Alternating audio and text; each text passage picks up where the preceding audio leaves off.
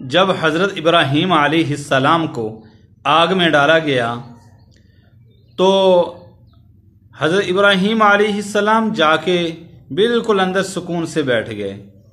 वालिद को पता चला, हज़रत इब्राहीम सलाम के वालिद का नाम आज़र या तारक था। तो वो आया और आके कहने लगा, इब्राहिम, मैं आ जाऊँ? फरमाया हाँ आ जाओ। वो अंदर गया